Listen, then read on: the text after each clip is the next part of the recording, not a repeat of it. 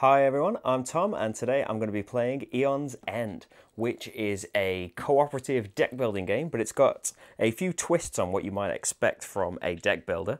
We are fighting the Rageborn, which is one of four nemesis that come in the base game, and there are, I can't remember how many characters, but a lot. I am Jian, and Marty, who is going to be helping me today, is Phaedraxa. One of the interesting things about this game, and that sets it apart from other deck builders, you do not shuffle your deck. There are some times when you might shuffle your discard or things, but in general, you never shuffle your deck. And to go with that, you are given your starting hand, which I have out here, and your starting deck. So 10 cards to start with, 5 per round, standard deck builder things, but you are always going to have exactly the same things. And the order in which you do things will affect how they go into your discard pile. When your discard pile runs out, instead of shuffling it like you would in a normal deck builder, you just flip it and it becomes your deck. So we have the Rageborn up there. He starts off with one Rage one Fury token on him. He has a Strike deck, which is something special and specific to him. Other than that, he has his Nemesis deck, which is made up of nine cards specific to him and a certain number of other ones that changes based on the number of players, but they are basic Nemesis cards that you know you have a pool of them and you pick a random number, well not a random number, a number specific to the number of players.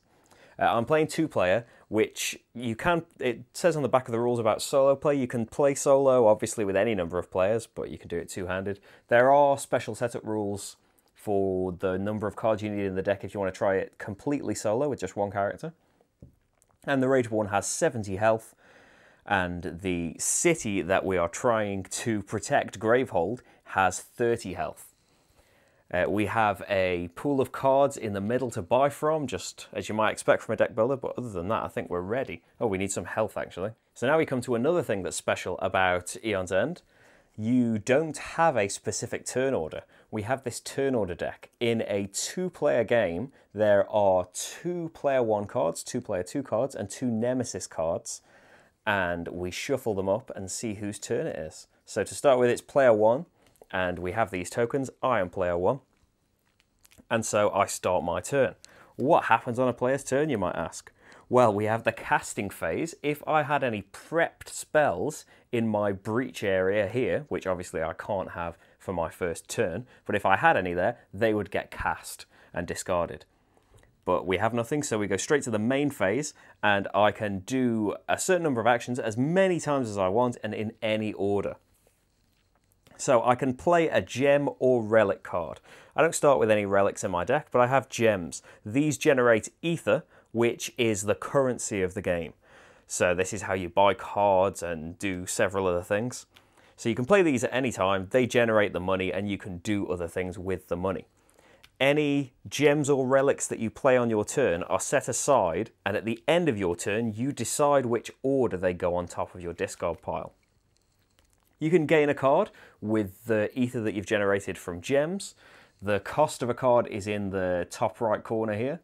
Whenever you gain a card, it goes straight on to your discard pile. You can gain a charge, Charges are on your character sheet here. They cost two per charge. I need four charges to be able to activate my main, my special ability, which can be activated during my main phase. I can cast any player's prepped spell without discarding it, then cast it again and discard it.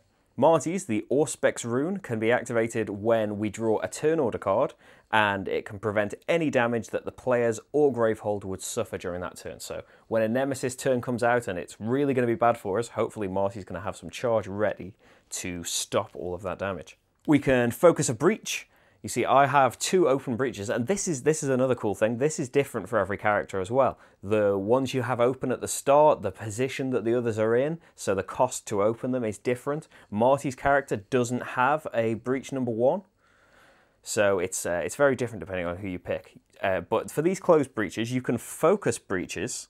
You see, they have a focus cost there. So you look at the one that's facing up. This would cost me three to focus. It would flip there and you see, if I want to open it, it's got a bit cheaper. It's gone down from 9 to 7.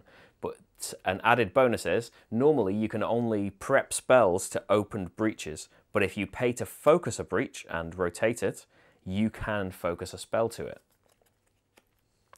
You can open a breach by just paying the, the big cost there. You can prep a spell to a breach, which is just playing a card from your hand to the open breach. Uh, you can resolve while prepped effects if you have some prepped spells, and if the Nemesis had any uh, any power cards out there that would have a two discard effect, so bad things are going to happen unless we do this two discard effect, you can do that on your turn as well. So what will I do? Well, I start with two open breaches, and my starting hand has two spells in it. So my first two actions are going to be prepping spells to breaches. So at the start of my next turn, as long as these are still out, I'm going to be doing two damage to something, possibly the Nemesis, if he hasn't brought anything out. Now, I have three ether, but I can get an additional one if I use it to buy a gem. So potential four altogether. So I've only got four if I buy a gem. I've got three otherwise, and nothing we we we set up. I've just done this randomly. There are some nice custom uh, pre-built setups you can use, but we have four spells, two relics, and three gems in the you know the the, sh the shop. And so I have three ether, not, not enough to buy any of this stuff. So I could buy one Sifter's Pearl. When you play this, it generates two ether, and everyone can reveal the top card of their deck and either discard it or put it back. But since I have four if I buy gems, I think I'm going to buy two Jade. And this is going to generate ether for me. So buying those puts them in my discard pile. And then the cards I used to buy those, you know, any relics or gems get discarded in the order of your choice at the end of your turn. I'm going to put the slightly better one, you know, further up in the in the pile. I will say one thing about the store. One thing I've noticed is that there is nothing to heal us in this store.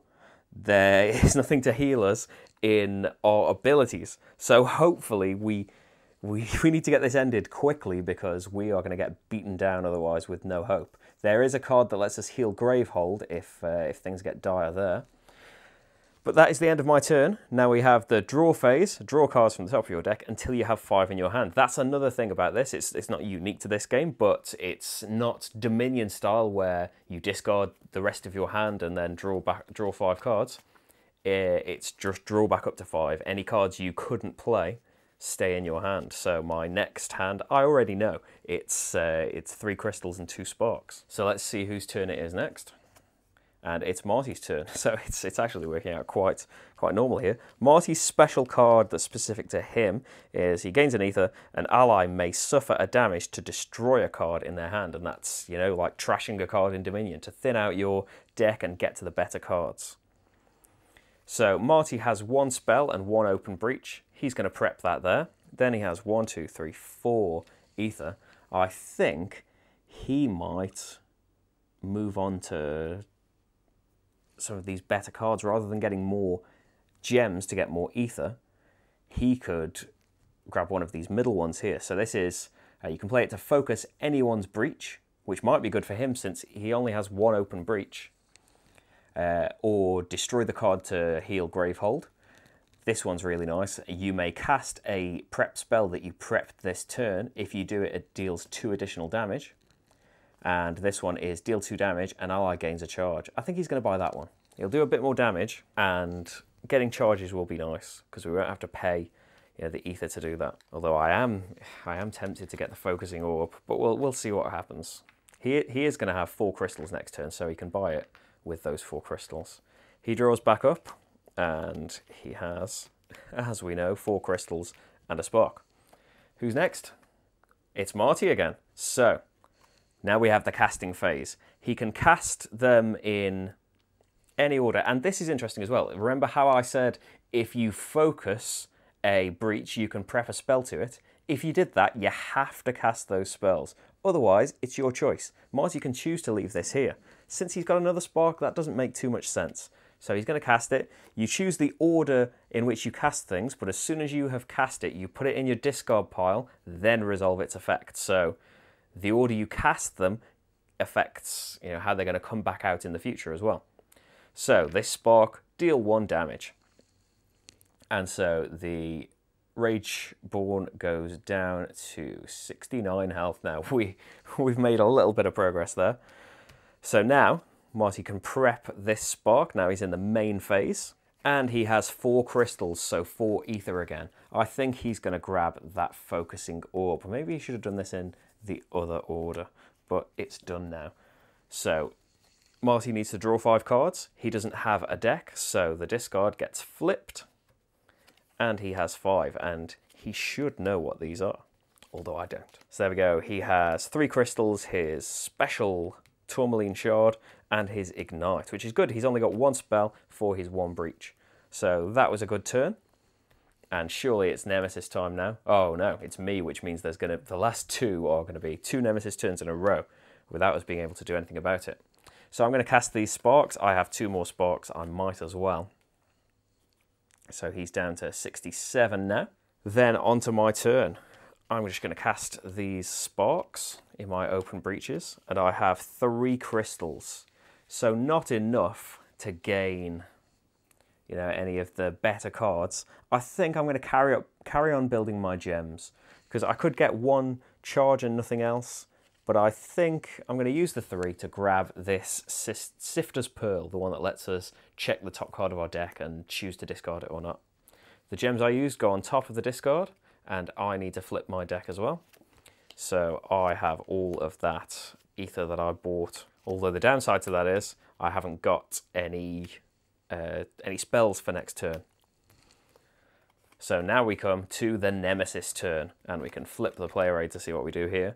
So from oldest to newest, resolve the effects of each minion and power card in the Nemesis has in play.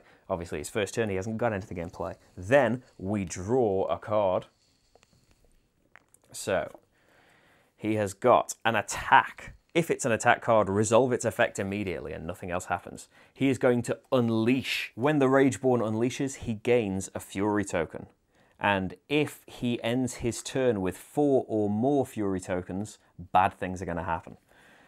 If there are two Nemesis turn order cards in the turn order discard pile, unleash two additional times. We are very, very lucky that this was the first one we drew.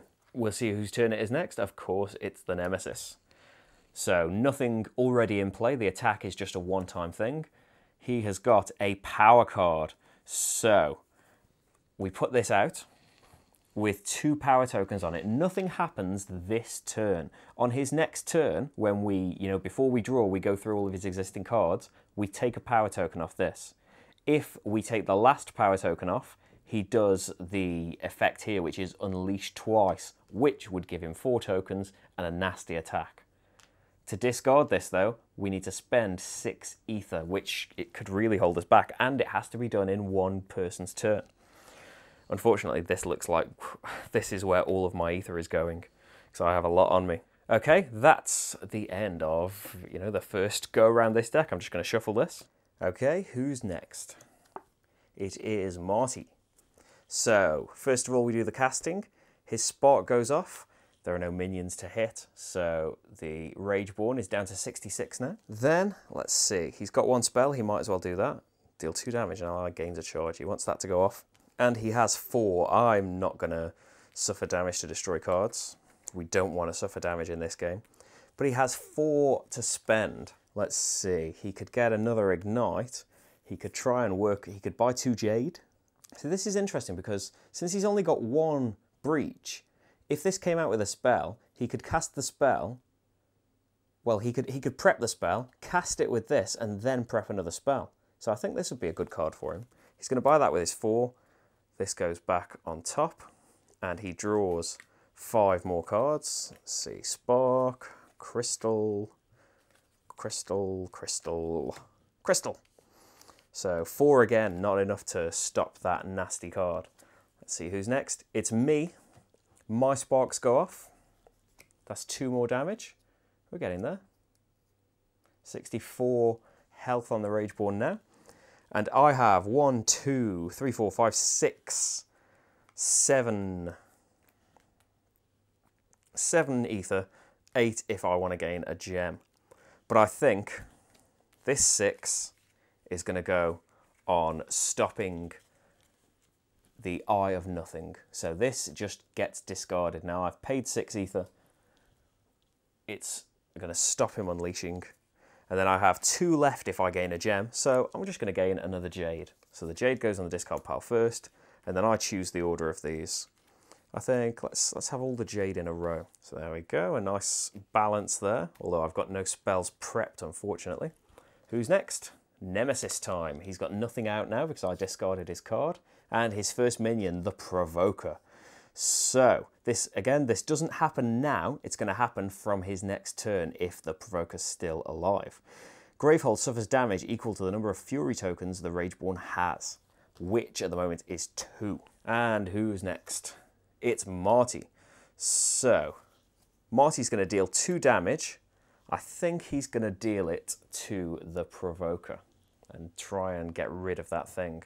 Someone can gain a charge. I think he's going to gain the charge himself. I think we want his ability, you know, in the wings, ready to come out when we need it.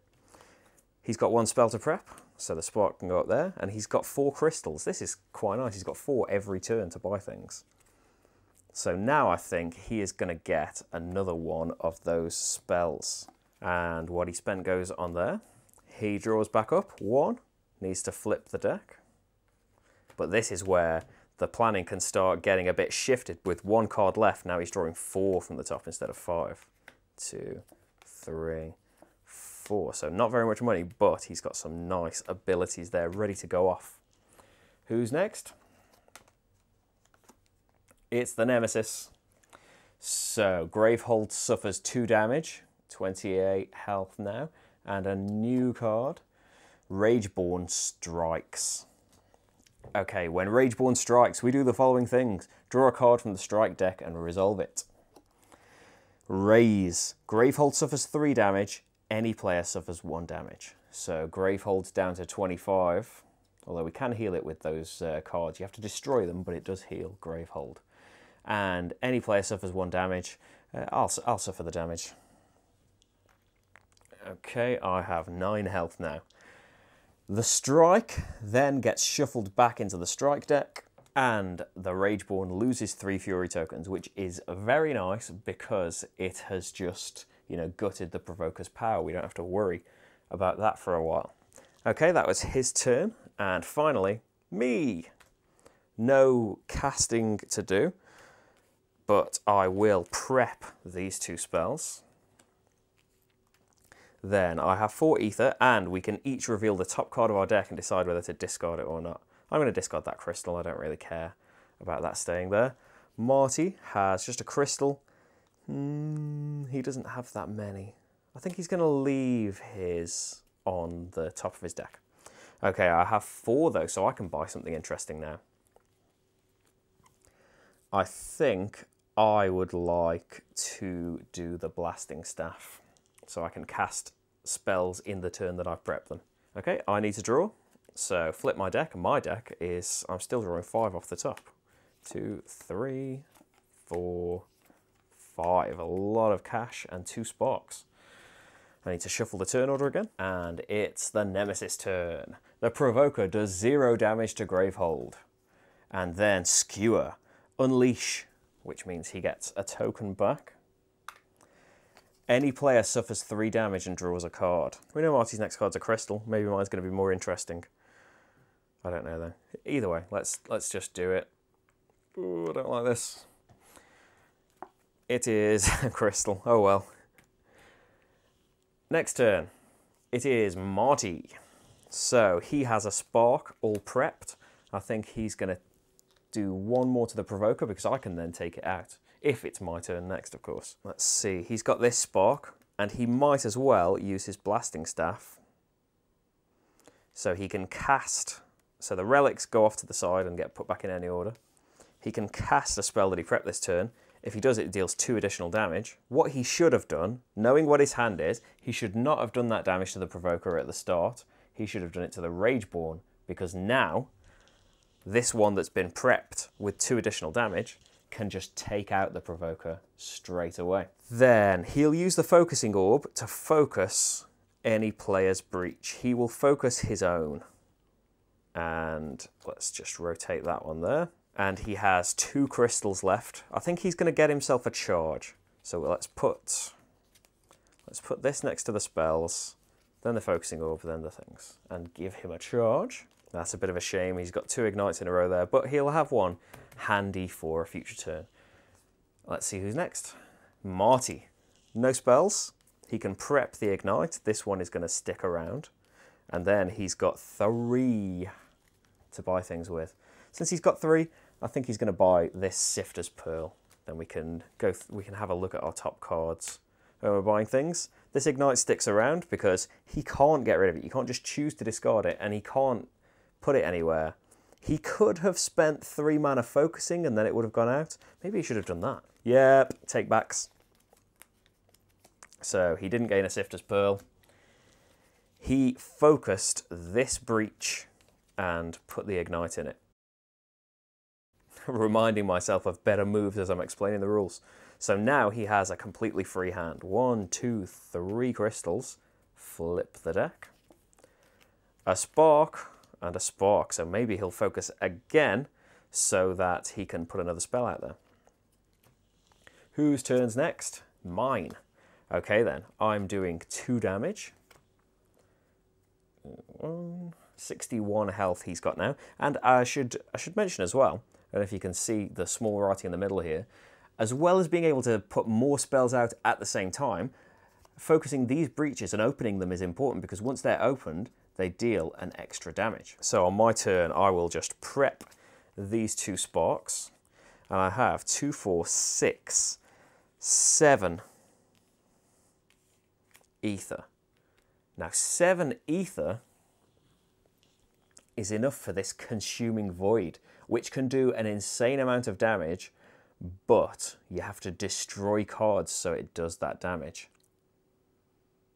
I think I'm going to grab one because I have enough jade that I could I could destroy some crystals, I think. So I want the crystals to be in the hand after the turn that I cast that spell.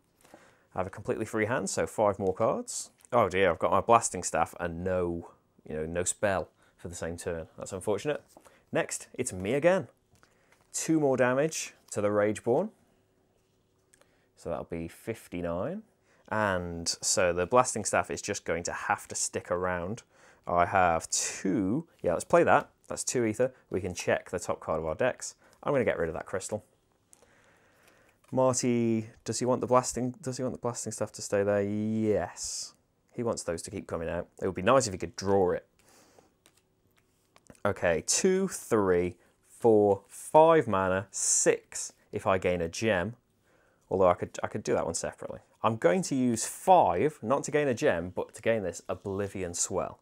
Because while it's prepped, I get an extra ether, and when I cast it, deal 2 damage, you may discard a gem and deal additional damage equal to its cost. And I do have, you know, this pearl's worth 3, the, the jades are worth 2, and if I get one of some of these clouded sapphires, they're worth 6, so that could be 6 extra damage.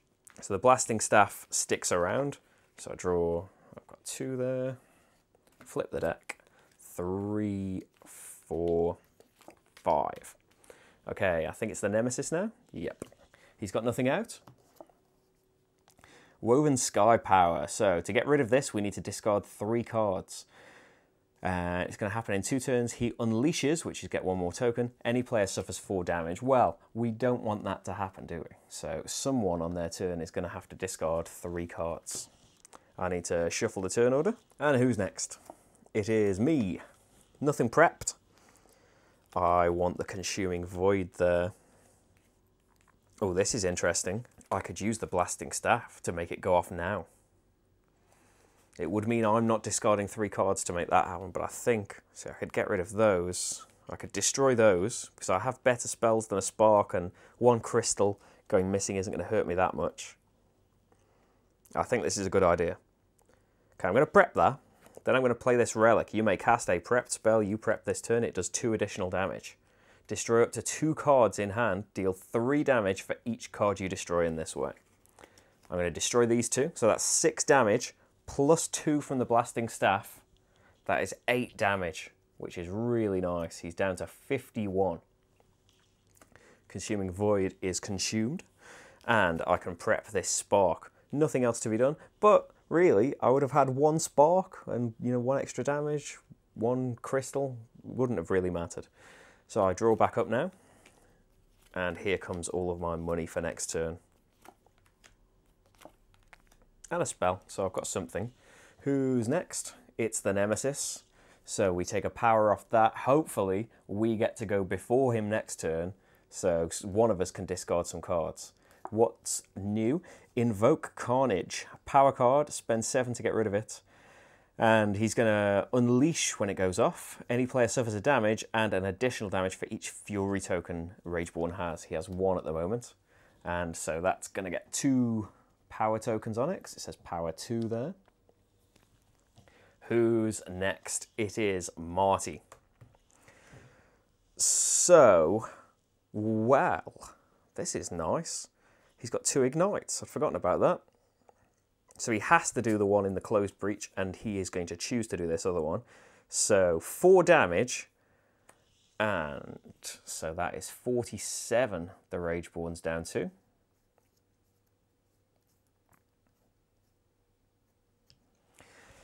And then he can choose to put two charges on things. I think yeah, he's just going to do them on himself for now. He's going to prep this spark, I think.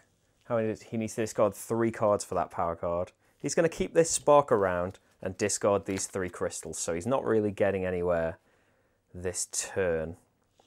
But we can get rid of this power card, which would have made him unleash, and we can't afford to take four damage. So he draws back up. One, two, three, four. Doesn't have the money. At least I've got some money. If As long as I go before the Nemesis has two turns, as long as I go before then, I can get rid of that. I won't be doing anything else on my turn, but at least I can get rid of things. Marty, Spark time. So 46 health on the Rageborn now. And then he can cast Spark. He can do Blasting Staff, cast the prep spell with two extra damage. That's three damage from that spark. He's down to 43. I think, yes, the, the way we're going to try to win this is just destroy him as quickly as we can. There is there are two ways to win in this game. We want to kill the Rageborn or exhaust him, make him go through his entire deck with uh, us still standing. And we can lose many ways if Gravehold falls, if both of us get exhausted. But that's not happening right now. Focusing orb, let's see, we don't need to heal Gravehold. I think someone should focus. And if Marty focuses this closed breach, it would open. I think he's going to do that. He's going to focus his own breach again. And it's now open because it was all the way around. He's got two crystals to buy things. He's going to give himself the last charge. So when something bad really is going down, he can spend all of his charges to activate his ability and prevent all damage to everyone. Five cards, two ignites again. That's really nice. Now he's got two open breaches as well. What would be even nicer is if we could get a blasting staff so they could be cast in the turn they were put down with more damage, but we're doing well as it is. My turn. Well, the spark deals a damage. He's on 42. Then I have seven mana, well, seven ether. I apologize. And I'm going to use that to get rid of this Invoke Carnage, which might not be that bad. It would make someone suffer three damage, basically. It's one plus the two tokens he would have. I don't want it to happen, though. And I can just spend the mana and you know, basically kind of skip a turn to make it happen. I'm going to prep that Spark, and let's put the Jades on top well at the bottom, but you know what I mean. Draw back up. Spark, Crystal, Livian Swell. So some nice things there. The the one there I can discard gems, so maybe it would be worth keeping this around to discard it when that spell goes off, because I can just choose not to play it. Anyway, that's the time for my next turn.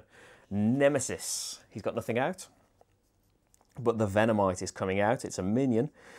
From the next Nemesis turn onwards, the player with the lowest life suffers 2 damage, or anyone discards a prepped spell costing 3 or more. And it's going to have 9 health. Okay, so I'll shuffle the turn order. Who's next? It is me. So the Spark, I'm going to do that to the Venomite. Let's try and get rid of that as quickly as we can. Then prepping spells. Let's put the Oblivion Swell out and the Spark. So what do I have? If I use the Sifter's Pearl, we can check the top cards of our decks and I'll get two extra mana, ether.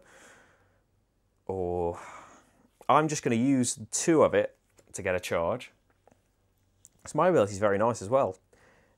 Any play, cast any player's prepped spell without discarding it, and then cast it again and discard it.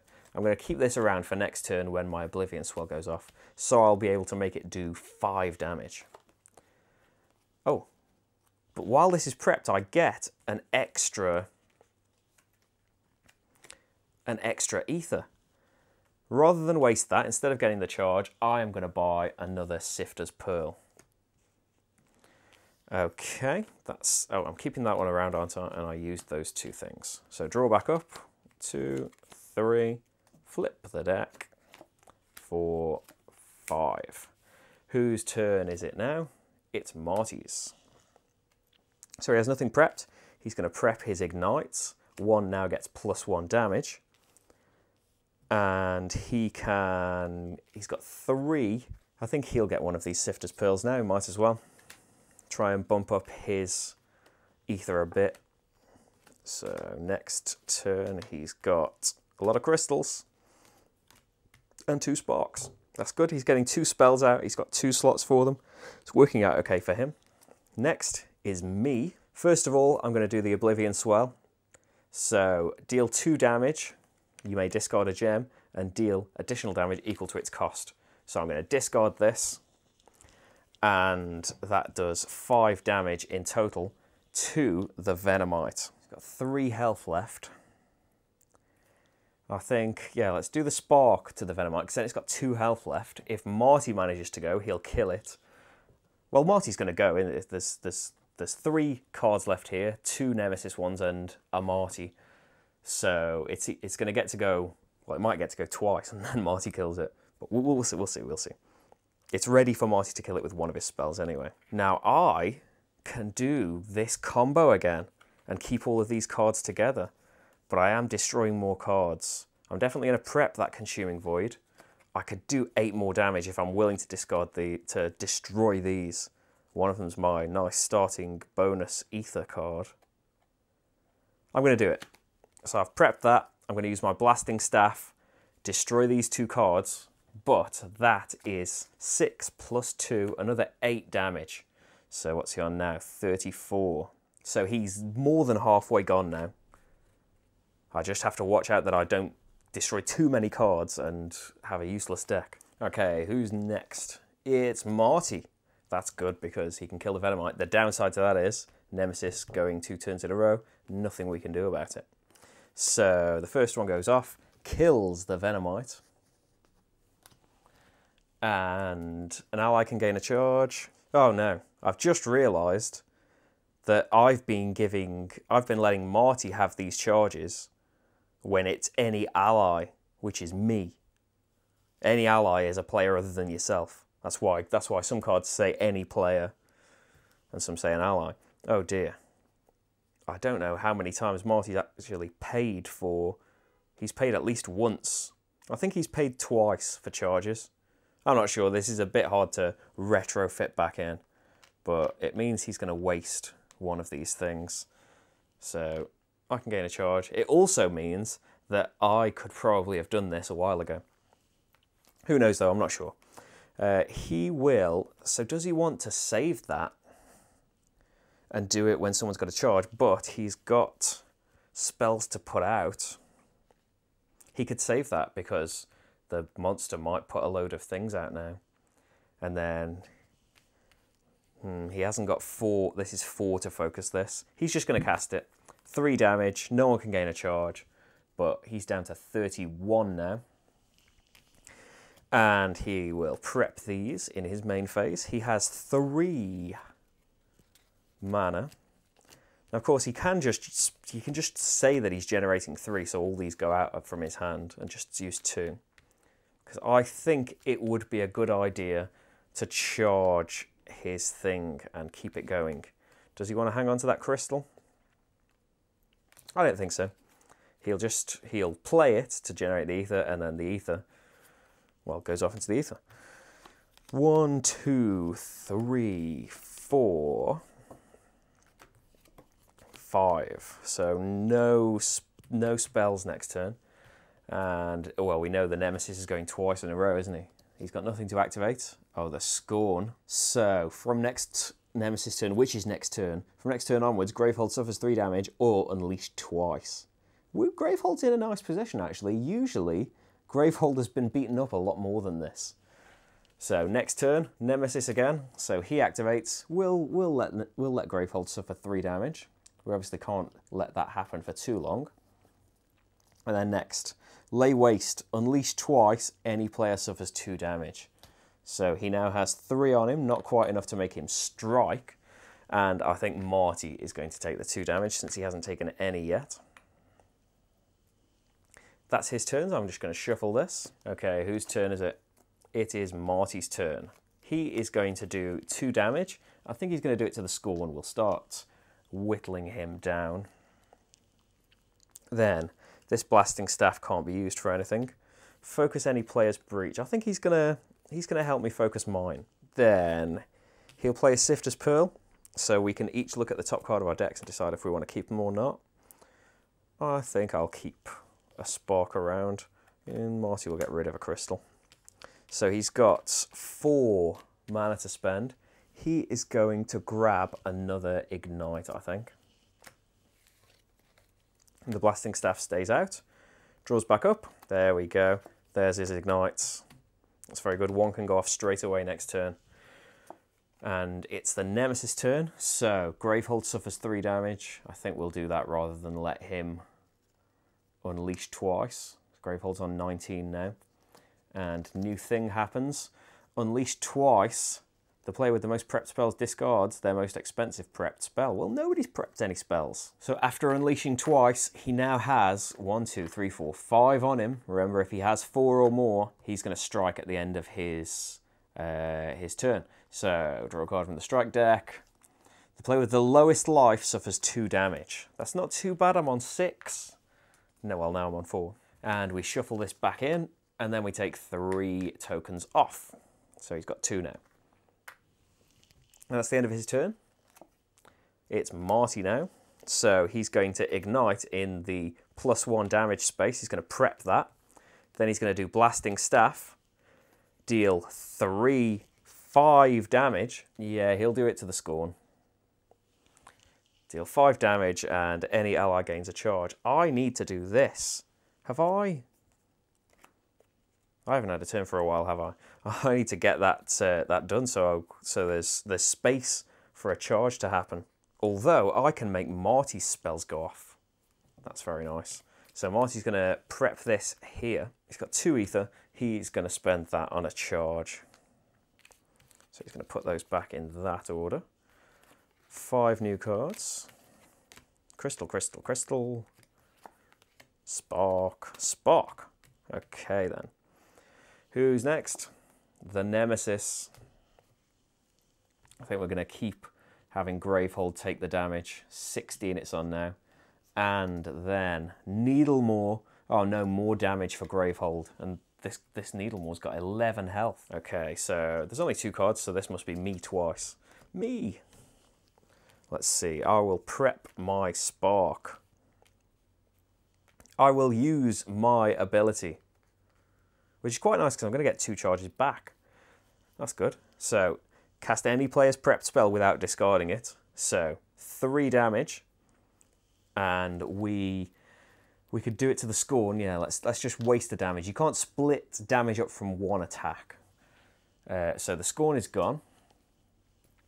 Any ally gains a charge. Then you cast it again and discard it. So two damage uh, we'll do that to Needlemore. One, two, three. And I gain a charge again. So that's, that's worked out quite well. I could even, let's, let's see, I have seven mana, so I could buy another very nice spell. I could get Oblivion Swell or something, or give myself the charges so that I can do this again next phase. Maybe my Spark, or maybe I'm going to get a better spell, or maybe more. No, I'm next, aren't I? I know I'm next.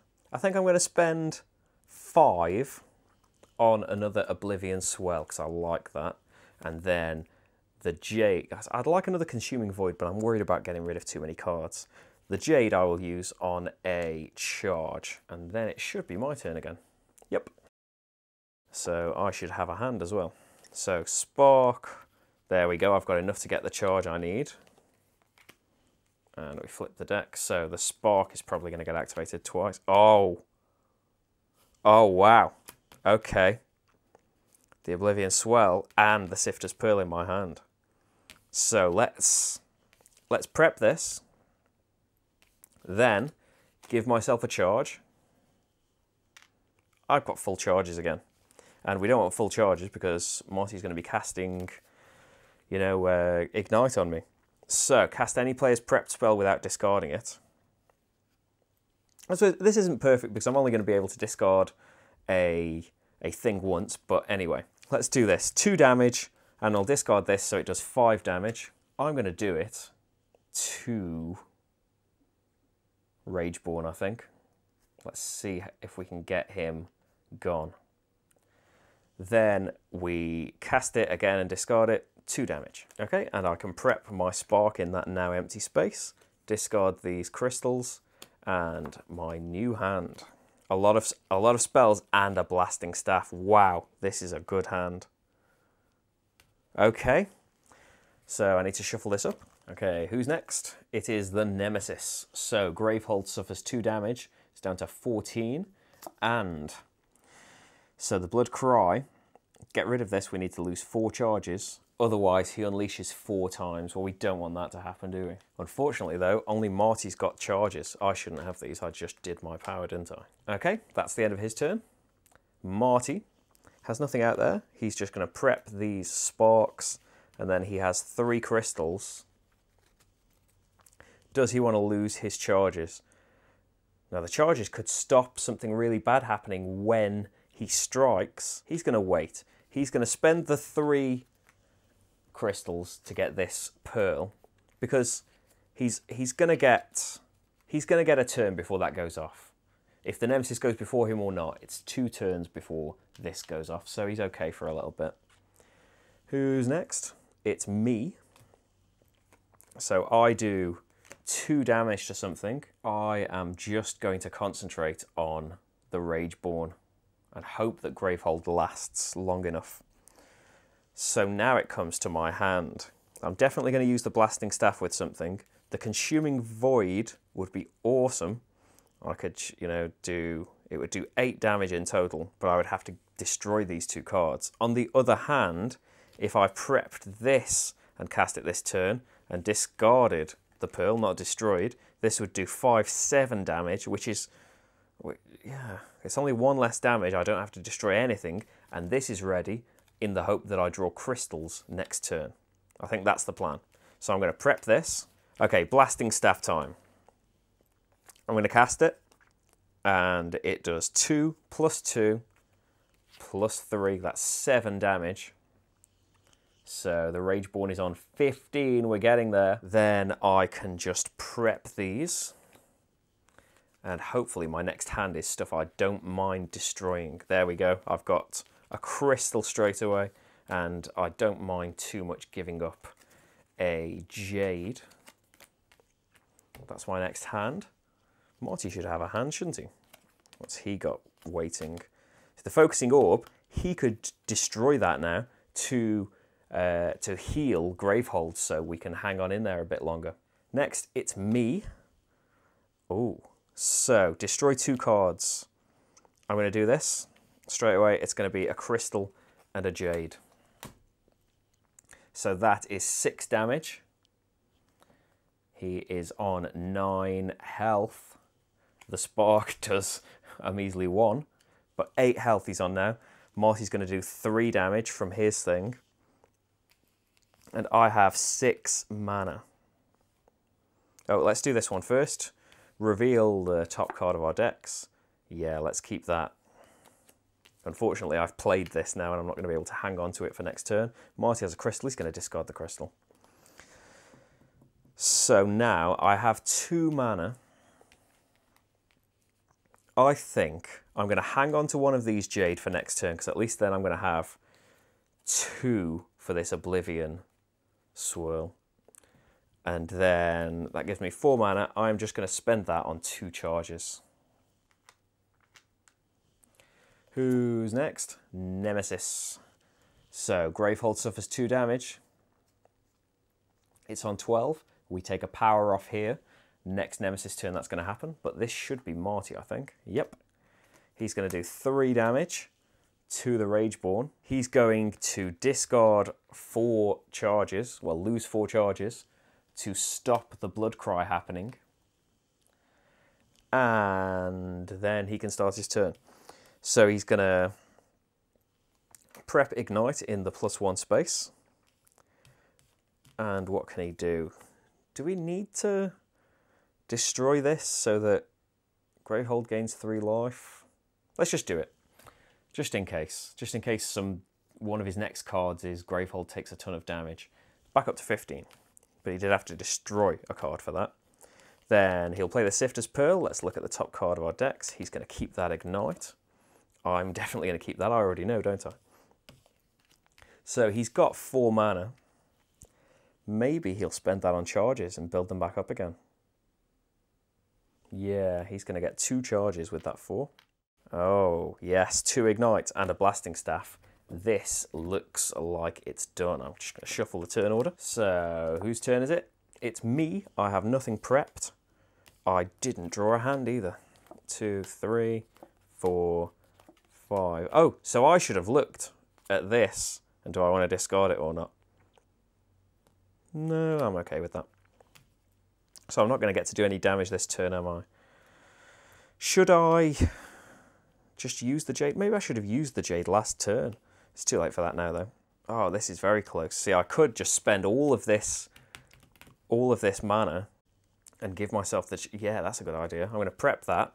I'm going to use all of my four mana on these charges and then activate Marty's spell, which does three damage to the Rageborn. I gain a charge, and then we do it again and discard it. Three more damage. Boom. He's got minus one health and he is done for.